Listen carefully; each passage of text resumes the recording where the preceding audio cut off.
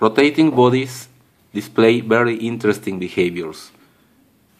Today I want to show you this little contraption that I made.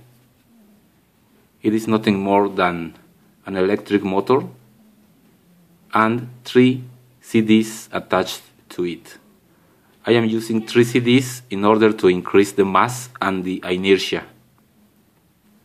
The motor has a pen attached to the base with epoxy glue and the motor is obtained from the internals of a CD-ROM. This is the motor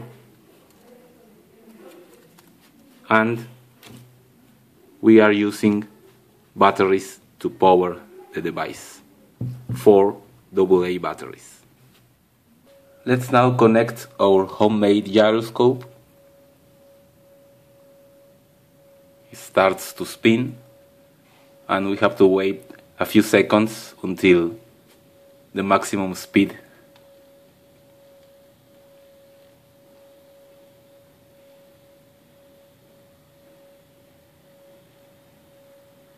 Okay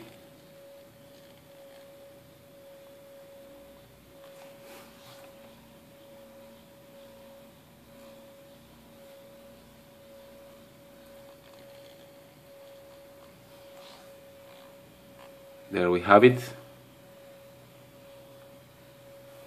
This movement is known as precession.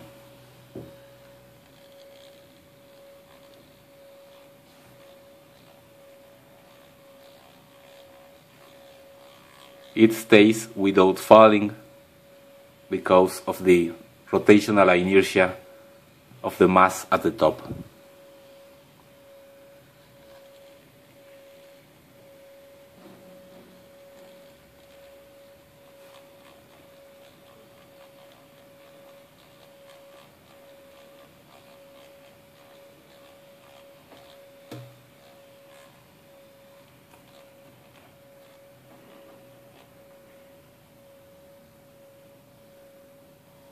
Without the speed, the gyroscope falls.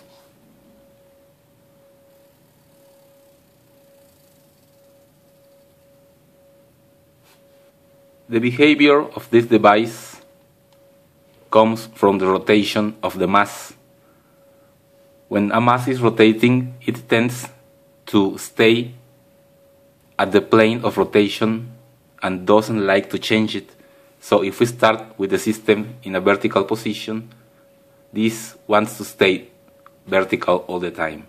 This is the reason a bicycle, once the wheel starts to move, it doesn't fall because the wheel wants to stay vertical. We also observe this movement called precession, which is due to the force of gravity acting on the system and the system responds moving like this.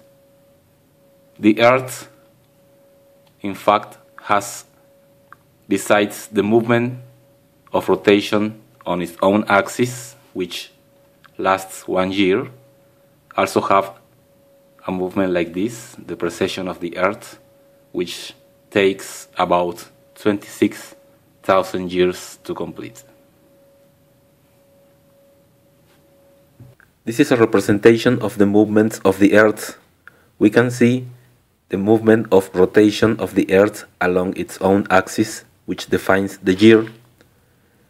Also, the movement of precession, which takes about 26,000 years to complete.